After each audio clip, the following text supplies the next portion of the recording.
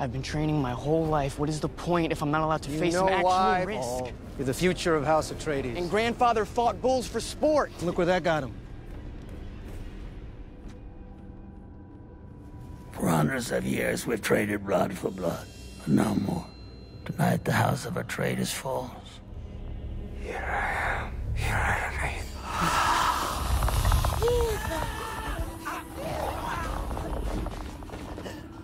So it's done. It's done.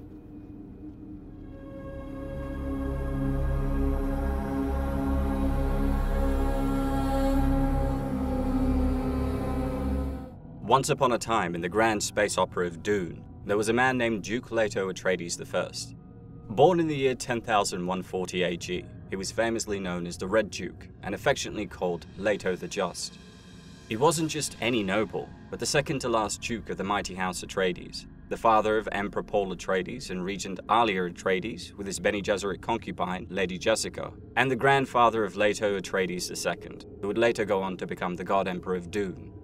Celebrated for his fair and compassionate leadership, he managed the reigns of Caladan before shifting to the harsh desert world of Arrakis. This was all amidst an ongoing feud with the devious Baron Harkonnen.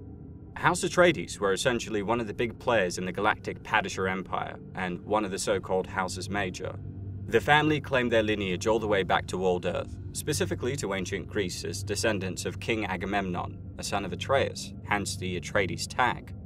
For 20 generations, Atreides ran the show on Caladan, making it a model of good governance. They had a knack for creating a society that was not only well organized, but also spiritually content. Caladan was a verdant paradise, quite the opposite of the Harkonnens' industrial hellscape, Giedi Prime. But you shouldn't be fooled by their utopian lifestyle. The Atreides were also battle-hardened, with sword masters, war masters, mentats, and their own unique battle language.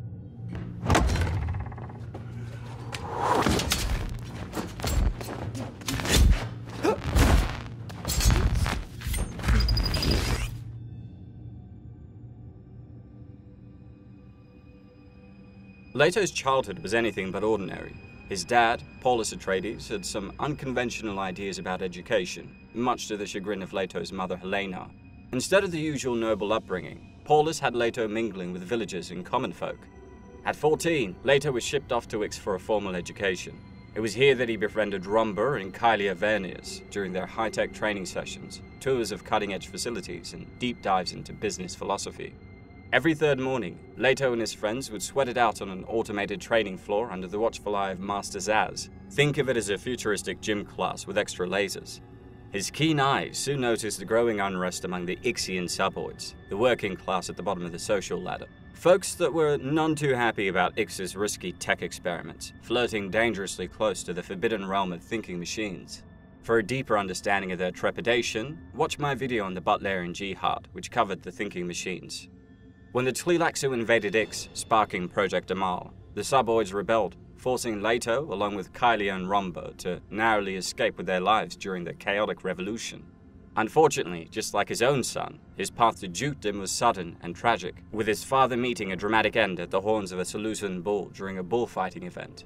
Despite this, as a young duke, he was known for his straight talk and unwavering honesty.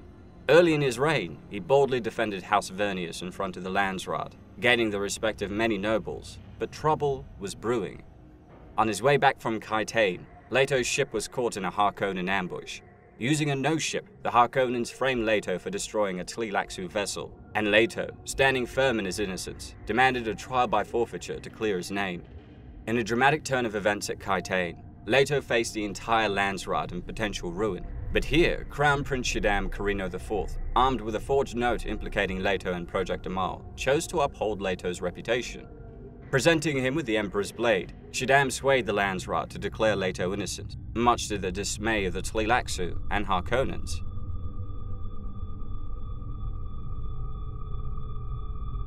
Leto's first act as a new duke was straight out of an opera, avenging his father's death at the horns of the fearsome bull, El Muerte. Armed with his father's sword, he entered the arena, not just to face a bull, but to win the hearts and trust of the Caladan people, ultimately doing just that. However, soon after, he faced a mutiny on Pinskow. His own troops had taken their officers hostage, but Leto wasn't just any duke. He dug deep to find the root of their grievances and resolved them, turning a mutiny into an opportunity to solidify his troops' loyalty. It was his integrity and personality that facilitated this, not just his title. Emperor Shaddam IV, a big fan of bullfighting, took a keen interest in Leto post mutiny. They had a private audience where, amusingly, they only chatted about El Muerte's defeat, and the meeting went on for so long that it threw off the Emperor's schedule. From 10,158 to 10,174 AG, Leto became known as one of the most honorable nobles around. When House Harkonnen raided House Tipnir, Leto didn't just sit back. He led a black raid on Giedi Prime, liberating 20,000 slaves and wrecking the Harkonnen slave fleet. This daring feat brought Gurney Halleck into the fold of House Atreides.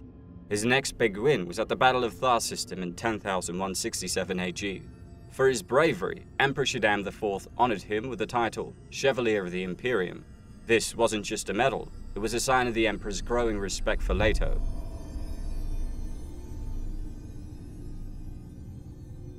A person needs new experiences.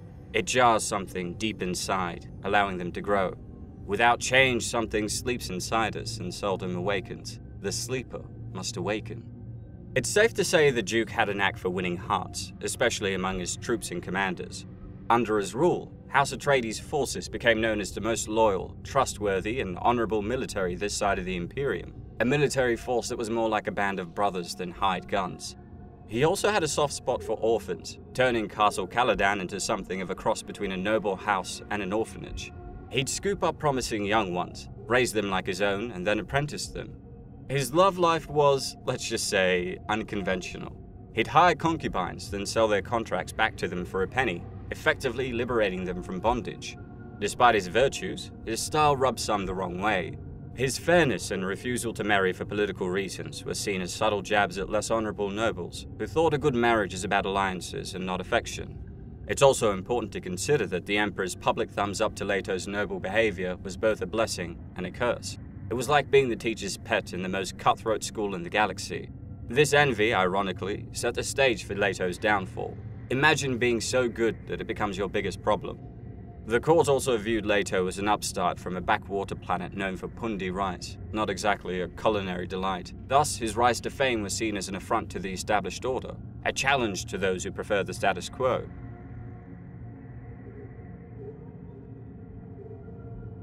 Duke Leto was a bit of a romantic rebel. Not only did he refuse to marry for political gain, but his love life was more like a carousel. But in 10,175 AG, things took a turn. Leto's buyers, probably sweating bullets, brought him Jessica, a gift from the headmistress of the Bene Gesserit school on Caladan. Vetted by Thufir Hawat, the Duke's mentat, she was a cut above the rest. And Leto didn't waste any time. He brought Jessica to dinner on his arm, a first for any concubine, and included her in the table talk. Fast forward five months, and Jessica was expecting a child that would be named Paul, changing Leto's life and that of the universe forever. He swapped pacing the castle for parenting, pouring his efforts into making Paul a worthy Atreides. Your grandfather said, a great man doesn't seek to lead. He's called to it, and he answers. I found my own way to it. Maybe you'll find yours. With the help of Warmaster Halleck and Swordmaster, later Warmaster Duncan Idaho, Leto started training Paul in command as soon as the boy could talk. Unfortunately, the Emperor's fondness for Leto didn't sit well with the other nobles, and they tried to undermine him at court. In the Battle of Grunmin in 10,176 AG, Atreides' forces shone brightly, but this success was a double-edged sword. It made the Emperor and his advisors nervous, as a duke with unwavering loyalty from his troops was a potential threat to the throne, regardless of his intention. I have all that an honest man could want the love of a woman, the loyalty of my subjects, the respect of my peers, and a son.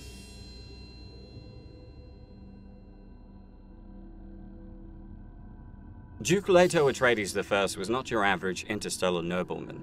His political savvy and charisma won him a fan club across the Imperium. But with great popularity comes great envy, especially from Emperor Shaddam Corrino IV. The Atreides' voice is rising, and the Emperor is a jealous man. A dangerous, jealous man. The Emperor continued to see Leto as a threat, so he hatched a plan using the age-old feud between Houses Atreides and Harkonnen the idea to get rid of Duke Leto and House Atreides for good. After nearly two decades on Caladan with the Lady Jessica, the Emperor gave Leto an offer he couldn't refuse to take over Arrakis from House Harkonnen. We are House Atreides. There is no call we do not answer. There is no faith that we betray. Arrakis, aka Dune, was like the Wild West of space, but with the added bonus of being the only source of the universe's most coveted spice, melange. It was a high risk, high reward situation, yet sensing both opportunity and danger, he jumped at the chance. Upon arriving on Arrakis, Leto made his intentions clear. He planted a flag on the battlements of Arrakeen and declared, Here I am, here I remain, a line that would prove to be prophetic. The Emperor sent Leto a letter, oozing with false support, promising full backing from House Corrino, but behind the scenes, he was sharpening the knife for Leto's back. Despite all of this, Leto quickly made a positive impression on the people of Dune. His fair-minded leadership and charm won over everyone, from the Fremen to the aristocracy, but just as he was getting cozy, the Emperor played his hand. Worried about Leto's growing power and his elite fighting force that could rival the Sardaukar, he gave Baron Harkonnen the green light to invade and wipe out House Atreides. And as a bonus, he even lent some of his own Sardaukar to the cause. Sardaukar!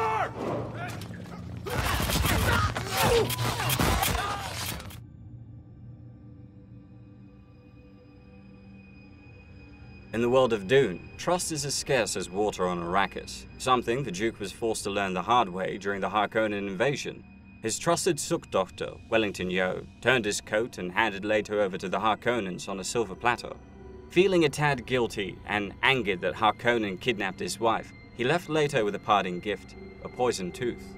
The plan, for him to bite down, release the poison, and take Baron Harkonnen out. It was the kind of idea that sounded great on paper, in true dramatic fashion, Leto's last-ditch effort to take the Baron down didn't go quite as planned. He bit down, the poison did its thing, and while it took out a few of his people, including Piter de Vries, the twisted mentat, the Baron lived to scheme another day. Fast forward a few years, and Paul recovered his father's remains and laid them to rest in the skull tomb in the deserts of Arrakis, a fitting resting place for a duke that had braved the sands of politics and betrayal. But Leto's legacy didn't end with his dramatic exit. His influence lived on in Paul's reign as the Emperor. And then there was Alia, Leto's daughter, carried by Jessica and only discovered after his death. My father came, not for spice, not for the riches, but for the strength of your people. My road leads into the desert. If you'll have us, we will come. His story was cut short, but his impact echoed throughout the generations, shaping the destiny of Arrakis and the Imperium.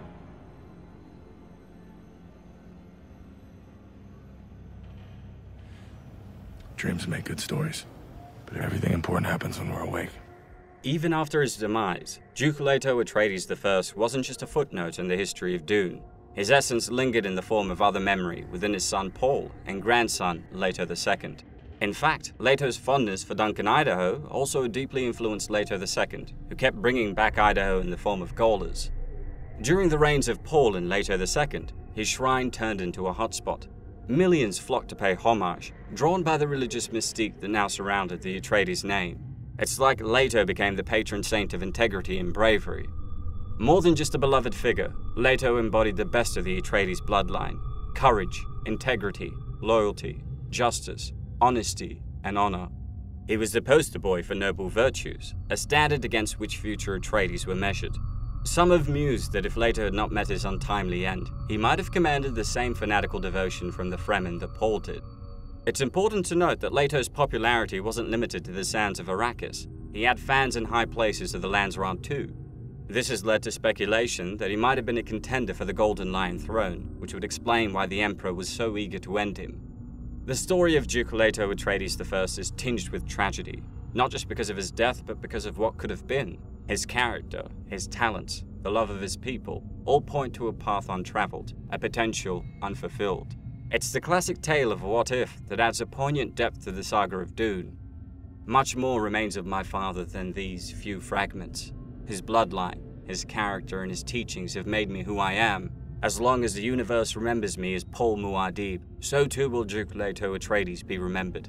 The son is always shaped by the father, in the end, his story is one of virtue against a backdrop of envy and politics. He was a beacon of integrity in a world where such qualities were as rare as a friendly sandworm on Arrakis. His legacy is a testament to the idea that sometimes being too good can be a downfall, especially in the treacherous dunes of interstellar politics.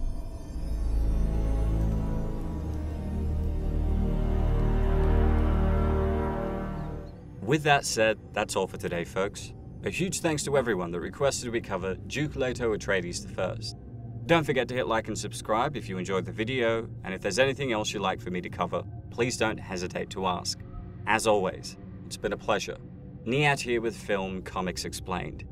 Thanks for stopping by. You gave me a son, and from the moment he was born, I trusted you completely. Now I'm asking you this one thing. If anything happens, will you protect our son? Leto, this is not you. I thought we'd have more time. Paul Atreides. You are your father's son. You are my son. You are the Duke. Paul Atreides.